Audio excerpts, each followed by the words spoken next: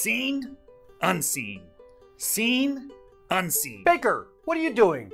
I'm demonstrating the principle of the seen and the unseen.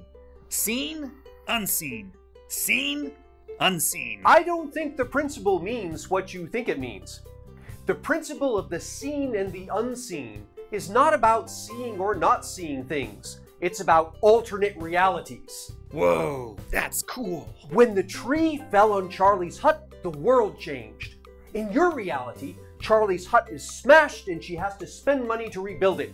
Which is good for people who build huts. But if the tree hadn't fallen, you would live in a different reality. One where Charlie got to spend her money on fish for a party, which would have been good for people who sell fish. Wait, so the tree falling didn't make us better off? You only think you're better off because you see the current reality where the hut builders earn money. We don't see the alternate, the unseen reality where the fish sellers earn the money.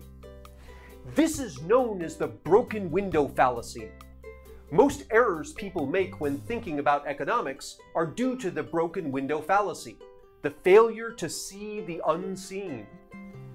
For example, suppose the Islanders agreed that everyone had to contribute 10 fish notes per month to a fund that would buy new shirts for everyone on the island. Awesome! I'd get a free shirt every month. But would they be free? Totally! Well, technically, no. You'd have to contribute 10 fish notes per month. What if people didn't have to contribute to the shirt fund? What could they do instead? Whatever they want. Spend the money on other stuff bongos, baskets, whatever. Right. And what would all those businesses have done with all of those fish notes? They could hire more workers and produce more stuff. And that is what is unseen. When you make people spend their money on shirts, you create jobs and income for shirt makers.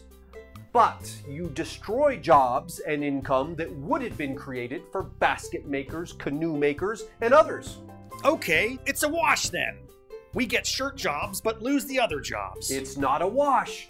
At the end, you might have the same number of jobs, but those jobs are producing things that people would rather not have. But everyone wants shirts. But you had to force them to buy the shirts. If they had wanted the shirts more than baskets or coconuts or canoes or bongos, they would have already been buying more shirts. Forcing people to buy more shirts means you made them worse off because you also forced them to buy fewer things that they wanted more. I guess so, but what about an alternate reality where the tree doesn't destroy Charlie's hut and she doesn't spend all her money? It wouldn't have mattered even if Charlie had never spent her money. How did Charlie get her money in the first place? People bought her jam, and now she can spend money buying things she wants. So the money represents stuff the island owes her.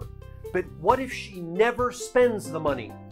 I guess that means that she never collects the stuff that the islanders owe her. Exactly. When Charlie builds up a stack of money, it's because the value of the stuff she has produced for others is greater than the value of stuff she has consumed for herself. That stack of money is the difference. And if she never spends it, she's just provided more stuff for others than she consumed. Exactly. Looking at the money, it looks like Charlie is hoarding her wealth.